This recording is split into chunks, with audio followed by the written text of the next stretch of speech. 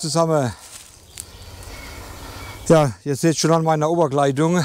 Heute ist mal wieder ein schöner, warmer Frühlingstag. Und da kann man es wieder richtig genießen und ja, am Fotografieren krachen lassen im Wald oder in der Natur überhaupt. Macht es jetzt ja wieder so richtig Spaß. Und heute bin ich auch in einer ganz speziellen Mission unterwegs. Und zwar hat mich ein äh, Abonnent von meinem Kanal angeschrieben mit meinem letzten Video mit dem Godox MF12 Makroblitzsystem. Äh, er hätte da auch Interesse dran, das zu kaufen, macht aber vorwiegend äh, Fokusdecken -Mak äh, Makrobilder. Und da hat er mich jetzt auf die Idee gebracht, das mal auszuprobieren ob das auch funktioniert. Focus-Stacking in Kombination mit dem Godox MF12 Makroblitz. Ob der Blitz da hinterherkommt und die Blitzleistung äh, die gleiche bleibt und die, die Ausleuchtungsstärke die gleiche bleibt. Und all das, solche Faktoren, ja, wo da halt beim Blitz, äh, Blitz mit äh, reinfließen bei der Geschwindigkeit vom, von den Focus-Decking äh, Bildereien. Dann, das würde ich gerne mit euch zusammen ausprobieren. Ich bin selber gespannt. Ich habe es noch nie probiert, äh, ob es funktioniert oder nicht. Und habe auch, was ich gekauft habe hier im Wald, das, äh, den Pilz habe ich schon mal, oder die Pilze sind es vielmehr, schon mal fotografiert in einem der letzten Videos, ich weiß nicht mehr welches das war. Aber halt ganz normal fotografiert, also Schärfe, Unschärfe von der kleinen Pilzfamilie. Und äh, das Motiv ist heute, ja, mit der leichten Prise, wo heute geht, äh, prädestiniert dazu, weil ihr werdet es gleich sehen, beim Fokusdecking, wie ihr ja wisst, braucht man, sollte man zumindest, äh, statische Motive haben, da wo überhaupt gar keine Bewegung stattfindet. Ja, dass das Ganze zum Schluss dann beim Verrechnen zu einem Bild auch was wird. Das ist ja das Ziel beim Fokusdecking, ja, dass man das durchgehend eine schöne Schärfe hat. Ja, Scheißfliegen sind auch schon wieder unterwegs. Gut, ich zeige euch jetzt einmal mein Motiv für diejenigen, die äh, das Video vielleicht nicht gesehen haben. Und dann baue ich auf und dann sehen wir, äh, sehen wir uns gleich wieder. Ja? Also bleibt dran. Ich bin jetzt nämlich selbst gespannt, wie es wird.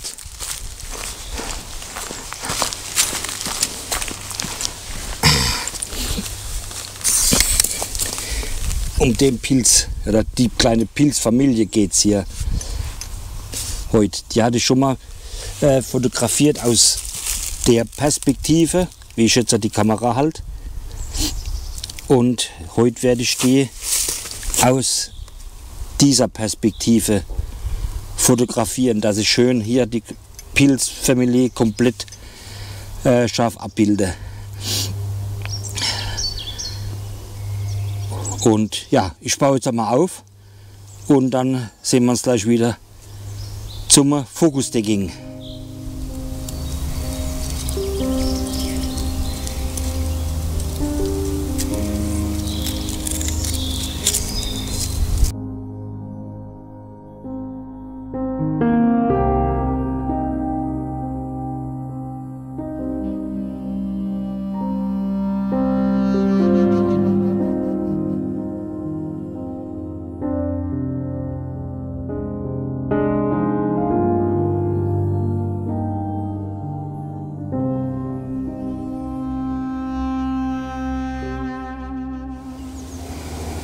Habe jetzt alles aufgebaut und in Position gebracht und mir ja schon die Perspektive auch schon rausgesucht von der Kamera und ich führe euch mal dran. Habe hier das Ganze auf einem Rollei Mini M1 Stativ aufgebaut, die D850 und das Tamron 90 mm und so habe ich jetzt die Blitze positioniert.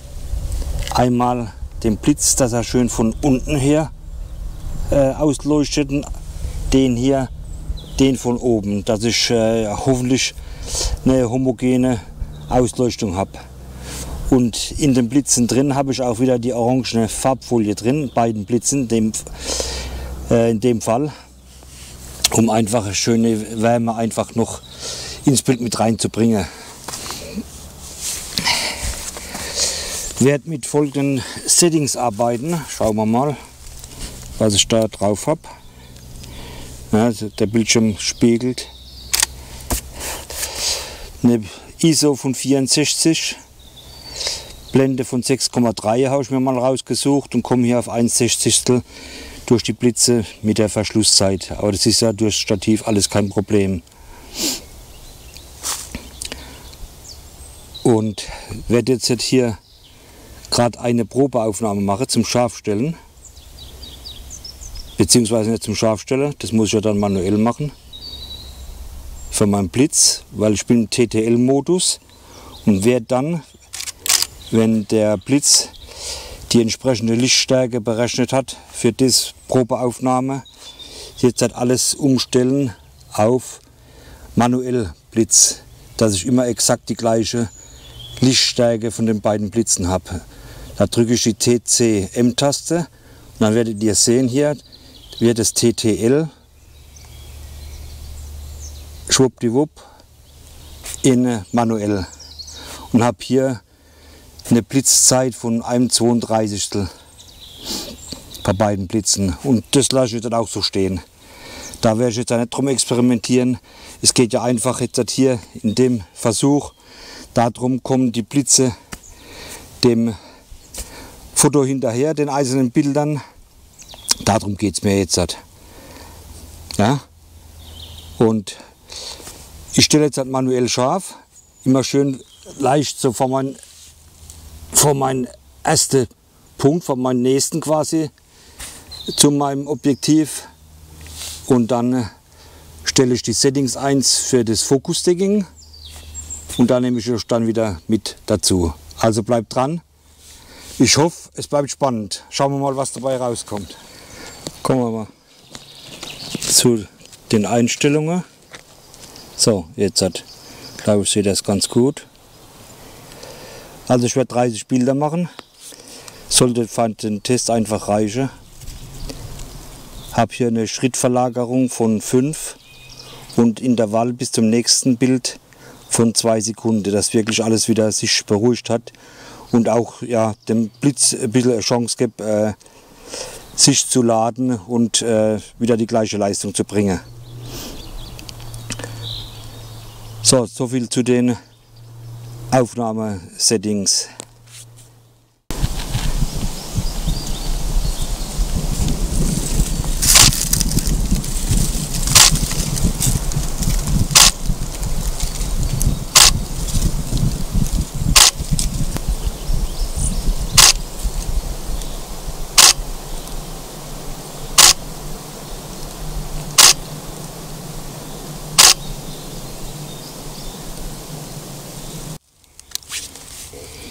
Mache jetzt halt noch mal eine Reihe dazu, dass man, ich will gerade scharf stellen, Moment, so jetzt habe ich, ich mache noch eine Reihe dazu, um mit der Kamera das Ganze jetzt halt von vorne zu filmen, dass man schön die Blitzauslöser sieht zu dem Auslösergeräusch der Kamera. Ich hoffe, schon das Mikrofon recht nah dran, äh, dass man es hört, dass man schön sieht, dass das alles äh, schön zusammen auslöst. So, Einstellungen verändere ich nicht. Und go.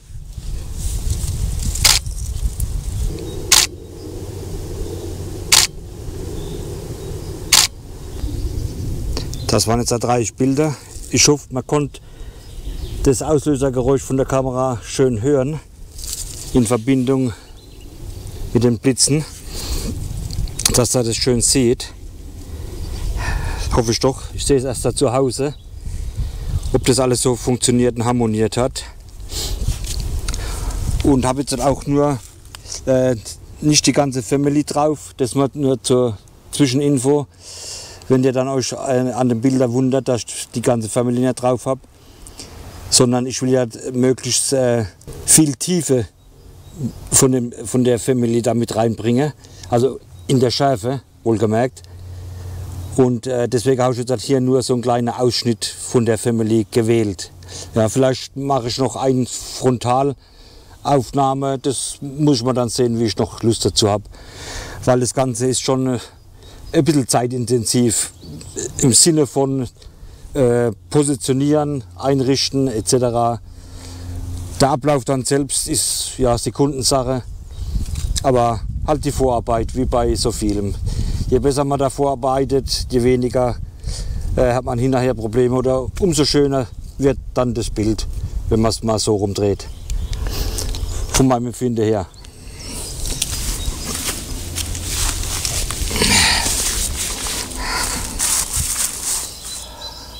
Habe jetzt ja doch noch ein Stack mit der frontalen drauf gemacht. Und ja, mal sehen, wie es dann daheim aussieht. Mein Hauptaugenmerk liegt heute nicht ganz auf dem Motiv, sondern mehr in dem Versuch, äh, wie weit du der Blitz mit der Kameraauslösung beim 2 Sekunden äh, Verzögerung, die habe ich jetzt zumindest eingestellt, mit der arbeite ich eigentlich grundsätzlich, dass halt wirklich keine Erschütterungen in der Kamera sind durch den Spiegel oder sonstiges da entstehen. Und da ist mein Hauptaugenmerk heute drauf. Ja. Wie synchron ist der Blitz mit dem Auslöser zum einen, zum anderen, wie ist die Ausleuchtung, baut die ab im Laufe der Blitze, weil sie vielleicht schon nicht ganz geladen sind. Ich weiß nicht, so viel habe ich mit dem System nicht gearbeitet. Und drittens bleibt die Ausleuchtung homogen durch eventuelle Blitzleistungsabfall vom System her. Ja, das sind so meine drei Fragen, wo ich mir jetzt stelle, äh, bevor ich die Bilder dann zu Hause gesehen habe. Und die auch den Abonnenten bestimmt äh, interessieren. Ja, ich werde mir noch ein Motiv suchen und dann werde ich das Ganze wiederholen. Da braucht ihr dann äh, eigentlich nicht dabei sein, weil es ist eigentlich, ja, ist eine Wiederholung, nur das Motiv ist ein anderes. Und dann bin ich mal zu Hause gespannt. Ich hoffe, vielleicht kann ich noch, äh, konnte ich noch dem einen oder anderen äh, paar Tipps dann oder Infos äh, an die Hand geben über dieses Godox MF12 Makro Blitzsystem. Jetzt haben wir es ganz ausgesprochen äh, um vielleicht ein bisschen besser damit arbeiten zu können oder sich vielleicht für den Kauf zu entscheiden, der gern Makroblitz, äh, Makrofotografie macht. Mit dem Blitz habe ich es heute. Hei, hei, hei. Ja, da finde ich klasse oder würde ich klasse finden, wenn ich dem einen oder anderen da noch äh, was an die Hand geben konnte, vielleicht in seiner Entscheidungsfindung oder der, wo es schon hat. Wie gesagt, ich bin mit dem System bis jetzt rundum zufrieden und werde noch ja, einige Makrobilder damit machen. Und ich habe meinen Spaß dabei. Darum geht es letztendlich. Und ich packe jetzt da zusammen und dann suche ich noch ein zweites, richtig statisches Motiv, dass da wirklich ich äh, schön über die, die Bildanzahl eine schöne Schärfentiefe dann im finale Bild drin habe. Das Ganze setzt sich dann zusammen in Helicon Focus. Der eine oder andere wird es vielleicht kennen. Mit Photoshop arbeite ich nicht und in Lightroom geht es ja bekanntlich ja nicht. In andere Programme habe ich keine dafür.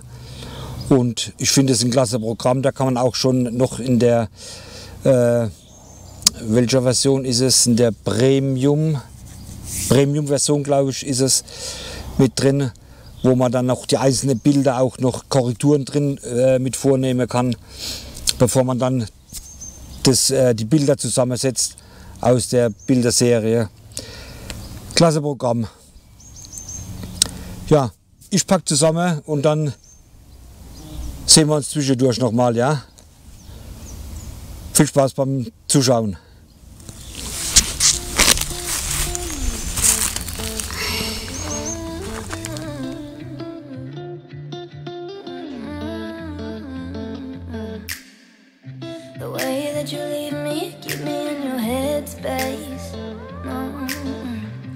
Creeping in the night, keeping me in the back lane.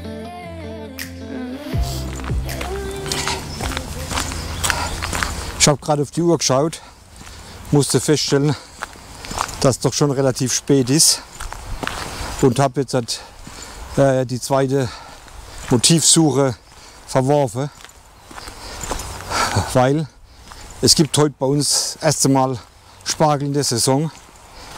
Ja, wir sind ein typisches Spargelammergebiet hier bei uns im Ried und da freue ich mich schon riesig drauf. Und meine Frau ist kein Freund von äh, zu spät kommen. Ich aber auch nicht, muss ich gestehen. Und ja, deswegen mache ich mich jetzt auf den Rückweg. Habe jetzt auch noch hier einen toten Käfer auf dem Boden gefunden gehabt, auf dem Rückweg. Den habe ich jetzt dann noch einmal mit einmal ohne Blitzsystem fotografiert, um einfach nochmal zu zeigen, äh, wie massiv der Unterschied ist. Mit und ohne Blitz. Ja, und vielleicht konnte ich dem einen oder anderen in seiner Entscheidungsfindung noch ein bisschen was beisteuern an Infos für oder gegen das Blitzsystem oder für diejenigen, die es haben, vielleicht ein bisschen mehr zu experimentieren. Und könnt ihr mir gerne die Kommentare reinschreiben. Ansonsten äh, bin ich dann mal gespannt auf die Zusammensetzung dann Helikon Focus was das, die Pilzbilder da geworden sind mit dem Focus-Stacking. Und ja, wem es gefallen hat, kann ja gern einen äh, Daumen hoch geben, ein Abo und die Glocke. Die noch keins haben, da verpasst ihr keins mehr. Ansonsten äh, wünsche ich euch jetzt viel Spaß bei den Bildern und ich fahre jetzt Spargel essen. Ja, bis zum nächsten Video. Tschüss.